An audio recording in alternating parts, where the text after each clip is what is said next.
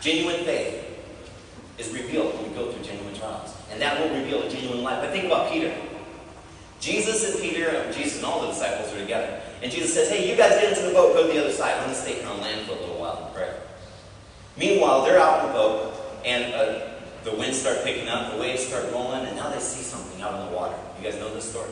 They see something out in the water. What is that? It might be a ghost. Maybe it is a ghost. Peter says, I think it's Jesus. Jesus, if that's you, then, then command me to come to you. Jesus says, Come on, the water's great.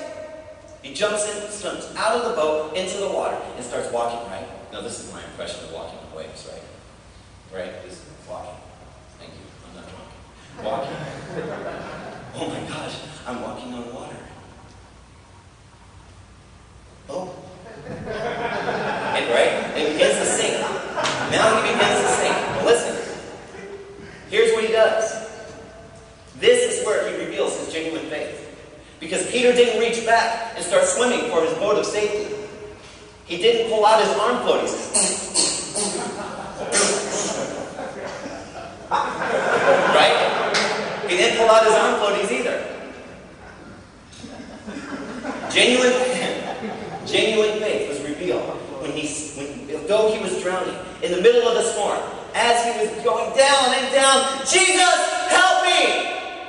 This is where genuine faith is revealed. When we're in the midst of the storms, when we're in the midst of the trials, and instead of running back to our boats of safety, and instead of just dangling at the end of the rope, we're floating.